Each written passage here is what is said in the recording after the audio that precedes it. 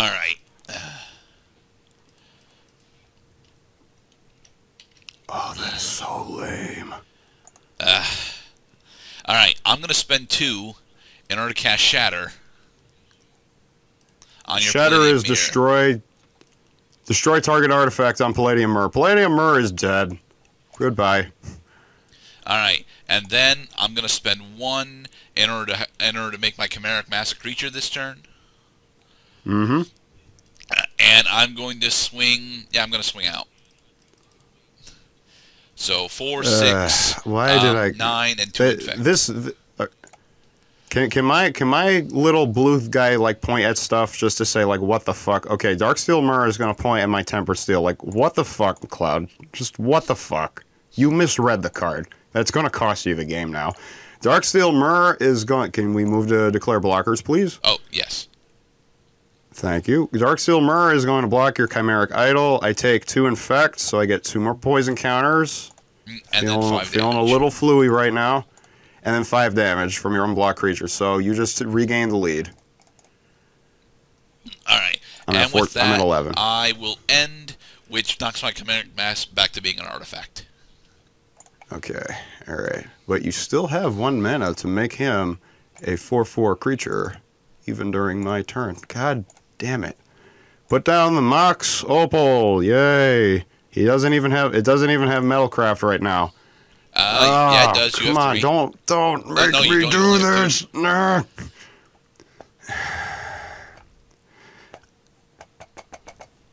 It is. I feel like it's futile. Um. I gotta stop the bleed though. Okay, no, maybe maybe not. If I still had a Memnite, I would, you know, this would be looking a little differently for me. Um, I'm gonna pay four for my skin render. All right. Inflict three minus one minus one counters on your berserkers, All right, and my berserkers are deaded. and that is no, no, it's not. I I have to hit you. I'm gonna swing at you for two.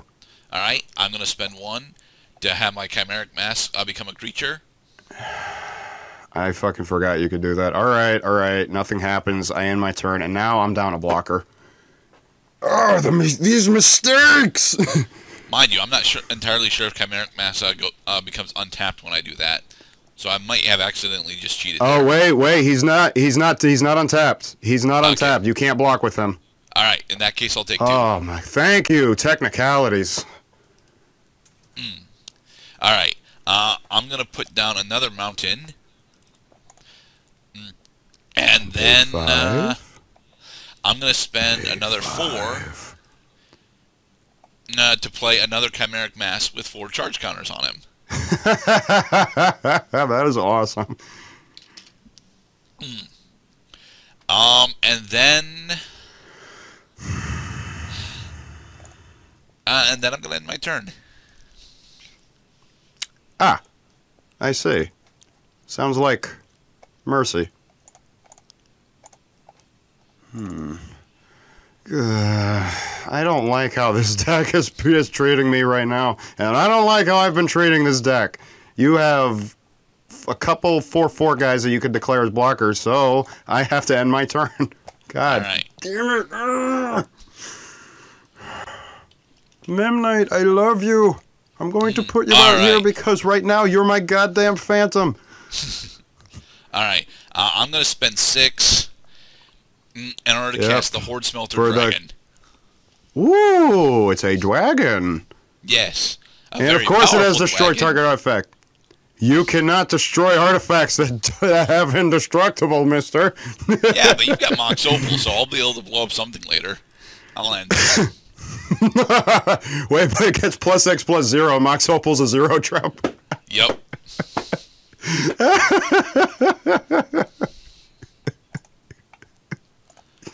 Well, I'm, I'm happy to be laughing. I'm not. I'm not terribly. God damn it! I'm not terribly pleased that your winning streak is gonna keep going because I'm, there's no fucking way I'm gonna win this game. Pave two to get him out. He's a four-four creature. Wait, what am I? uh, It's, it's So, sorry, it's I have to adjust power and toughness, not add counters. Uh, so this is a four four. And I'll take these yellow counters off by not putting more counters on him. This guy's gone to Mardi Gras. Okay, thank you, game. Um, so uh, about that, um, I can't. Now that you got a, now that you're showing a five five, I can't fucking hit you. So I'm gonna end my turn. I, I think this is it. It might Because be now you got five. deck is. I mean, you could swing at me for like nine. Oh wait, no, Blackcleave Goblin doesn't deal damage. That's right. Mm, well, I can still swing at you for eight. Mm, let's see. It's one, two, three, four, and I'm gonna have Hoard Smelter Dragon uh, destroy Palladium Myr. And that's and that could and then it's that card's converted mana cost. But Gerda, you have two chimeric masses that are just waiting to be animated. I do, and you have no Just cards kill in me. hand. Just kill me. Just it's it's over. It, it's fine, it's I'll- over, dude. You got it. Fine, I'll bring out the Chimeric Masses. Like I I I am pretty sh- I'm pretty sure there's nothing I can do about this. I'm actually glad that, that now that you know what Memnite is looking right at this guy. He's saying thank you. Now my sacrifice has not been in vain because it was futile the entire time. So you're swinging at me for you're swinging Uh, at me for eight, 15 10. damage. Eight of that is in the air, which I have to take, so I'm down to three. And now I have to resolve the rest of these motherfuckers, even though I don't have enough creatures to block this. Uh, so yeah, Darksteel Myr is gonna hit the first mass. Skin Render is gonna hit the Vulshok dude, and then I take four damage and then gain two more poisons. So I lose, and that's that. and Uh, once again, Gerdat wins with a Flying Dragon win condition. Well, he's not really here because he's a flying dragon, although it helps. He's actually here because I was worried, like, oh, hell, you were going to run Myr Battlesphere. And I'm like, I need to have a good counter for that. Myr Battlesphere, yeah, right. I, I mean, Myr, Myr Battlesphere is also. I'm going to concede the game. Uh, Myr Battlesphere is a, also a very stupid card, but you know, I thought I put enough stupidity in this deck. All right, uh, there's a particular combo I want to show off before we uh, before we end today. All right, can I can I do that, please? Yes. All right. So the the reason why I was uh, the reason why I was uh, casting uh, Chimeric Mass as a uh, uh, with uh, four charge counters is to have him be a four four when he came out. Four four is really really nice. However, the reason why it's so nice is because I have a two card uh, uh, a spell combo that makes it so I win the game if he's unblockable if he goes unblocked. Tainted Strike, which gives my creature plus one plus zero in infect, and Assault Strobe, which gives my creature double strike. Nice. So if my right, and then and then Tainted Strike gives the creature infect, so you're going to land for lethal damage. Nice. I was hoping to actually show this off. I mean, I got all the I got all uh, two of the three pieces for it at one point, but I didn't have Assault Strobe, so I didn't get a chance to show it off. Mm, I was hoping to actually get uh, get an infect victory on you, but it did not happen. You're running a lot of interesting cards here, though. Oh man, you didn't get to show off Yeah, a lot of a lot of these cards, a lot of these cards never appeared. Revoke existence is probably the most glaring, you know, omission from these games because I'm running fucking. Actually, how many of these am I running? Because if I'm running only one, that's just. Yeah, I got I got to get in the habit of making my decks a little more focused. They, they got a little ADHD going on. They want to they want to do this, they want to do that, they want to do the other thing, but they realize they don't have enough time to do it. Um, True Conviction was the card that I confused Tempered Steel for. If I had True Conviction out, that game would have ended a little differently because I would have actually been gaining life with an indestructible 4 4. No, I was gaining, I gaining 4 life every turn with an indestructible 2 3. So that was a thing. Um, my prototype portal in testing is surprisingly useful when used with Memnite because all you have to do is tap the portal and you don't have to tap mana because Memnite is a zero converted mana cost creature. And you just put a token you, you put a token copy of Memnite every single turn. Uh, Steel Hellkite, I believe, had appeared in the explorations once or twice, and he's pretty cool. The Indomitable Archangel would have stopped you from fucking pinging me with your with your removal because that ruined me th- those past two games.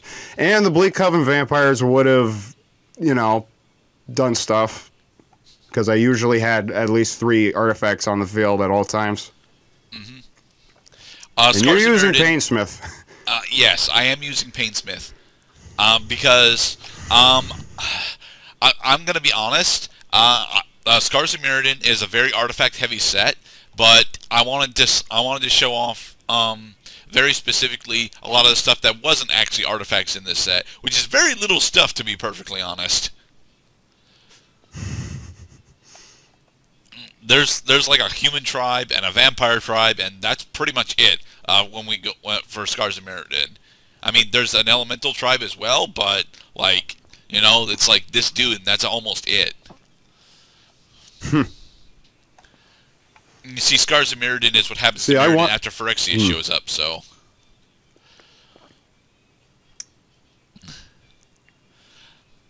Mm, I had Unless Painful we Quandary forget in our second game. But uh, I didn't get. Uh, um, I ended the game before I before it was opportune to cast it. Plus, you were at zero cards by then, so uh, yeah. Painful Quandary is an Yeah, so awesome there was a- control card.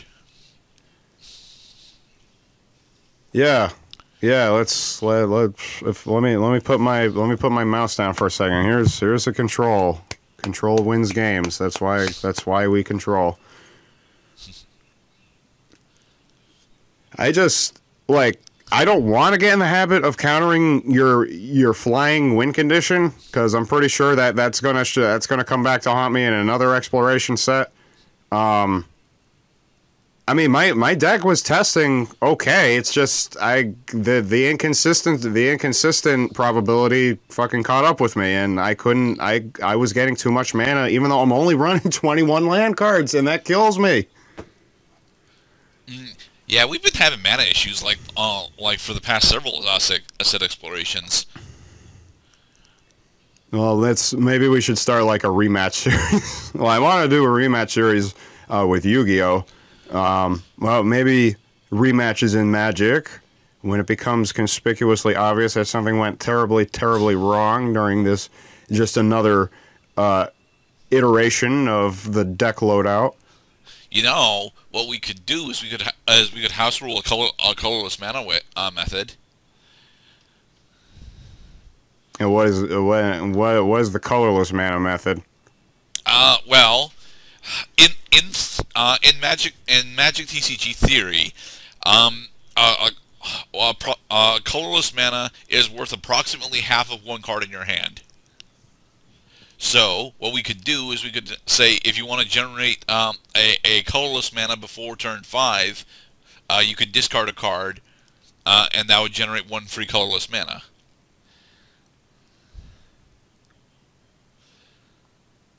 Got you, because one card is worth no half a card is worth one colorless. So if you discard a whole card, that's two mana. Well, I would still have it be one mana because you know if you're that des- if you're that desperate for mana, it better be worth it.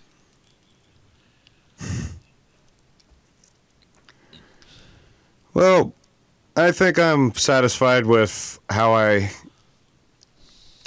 displayed Scars of Mirrodin by losing, of course, to Infect, and I wanted to have an opportunity to play the Wurmcoil engine because I fucking died to this card because my buddy ran it, and it's really powerful, especially when you get it. I mean, I got that out on what turn? That that was like a turn five or six drop, so that was that was good for me. But what helps is if the Wurmcoil engine stays alive long enough, so you could keep gaining life like I was. So I think I hit you like three. I, I know I hit, I know I gained twelve life off of that, so that's Yeah. that was a thing.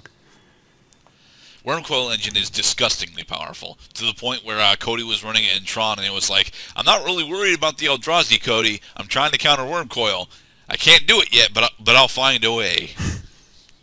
We're gonna exile him. Damn it! He can't be allowed to live or die. Just must And that's what pa- that's what uh, Path to Exile is for. Anyway, this has been us exploring Scars of Mirrodin. We actually did a pretty, pretty decent job with this, um, despite the Yeah. fact that uh, we're both running black. And you are on a winning streak right now, so I owe I owe you I owe you one you know severe defeat at some point. It's it's coming. It's coming. No nobody can win forever.